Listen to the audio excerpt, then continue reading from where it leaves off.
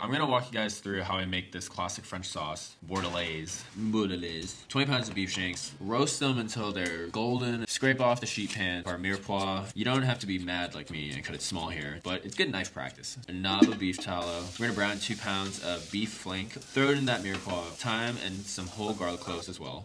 Some red wine. You can half this recipe and top off with water. Simmer for about 12 hours. Throw in some parsley, a lemon peel to be extra, and strain out all the solids. The next day, we're gonna remove that solidified fat, reduce that beef stock into a beef jus. Imagine the flavor of those bones, pure beef essence. Okay, the bordelaise, two shallots. You don't have to do it this tiny. The bone marrow, dice that into cubes. Shallots with butter, add your Bordeaux wine, and flambe, baby. More herbs. Reduce until there's almost no liquid. Beef stew from earlier. Strain out the solids. We're gonna whisk in some butter, whisk in some bone marrow, and that, my friends, is arguably one of the best sauces in the world.